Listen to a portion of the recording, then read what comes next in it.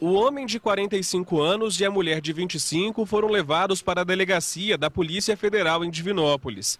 De acordo com a PM, os dois foram presos em um hotel no centro da cidade. A Polícia Militar recebeu uma denúncia de uma movimentação estranha em um hotel.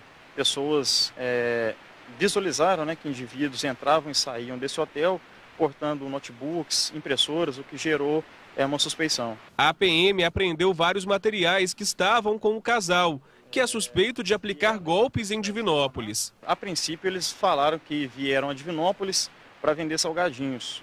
Contudo, durante as buscas né, autorizadas por ele nos quartos do, do hotel, é, foi verificado vários documentos falsos, é, impressora, notebooks, dinheiro que eles utilizavam para a prática do, do delito. Após é, conseguir né, visualizar todo esse essa apreensão né, dos materiais eles assumiram a prática do, do estelionato. Funcionários do hotel em que o casal estava hospedado prestaram depoimento na delegacia, mas pediram para não serem identificados. Eles disseram para a polícia que os dois chegaram ao local acompanhados de outras pessoas e se comportavam de forma suspeita. Todo o check-in que a gente faz no hotel por segurança, a gente perde os documentos, identidade, então a pessoa que estava ali primária para fazer dos outros hóspedes, que eles falaram que não estavam juntos, não sabia a documentação de nada e de ninguém. Muitas pessoas também no andar, numa comunicação enorme, a gente notou também que só saía na porta para comunicar, entre e sai de andar, então assim, levanta muito suspeita.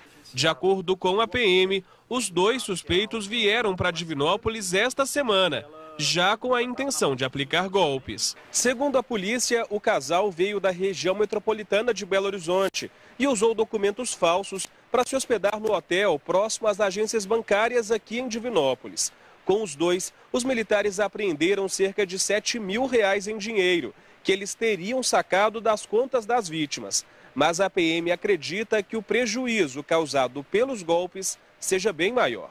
Os dois assumiram para a polícia que fraudavam os dados das vítimas no aplicativo Caixa Tem. Eles falsificavam documentos né, com dados de outras pessoas, com as fotos deles, né, dos autores, mas com dados de outras pessoas. E mediante o uso do aplicativo da Caixa Econômica Federal, eles deslocavam até a agência e faziam saque em nome dessas pessoas. Durante o depoimento, os funcionários do hotel contaram que no dia anterior à prisão, parte da quadrilha foi embora em um carro. É, mais ou menos umas 19h40 saiu um, um, carro, né, um carro Prato Corolla, saiu com sentido a Mateus Lema, até onde a gente sabe, com cinco malotes, com, com cerca de quatro a cinco pessoas também no veículo. A pessoa do sexo masculino, ele é oriundo de Curvelo, ele possuía passagens né, por furto e estelionato, e a mulher presa, ela é oriunda de Belo Horizonte.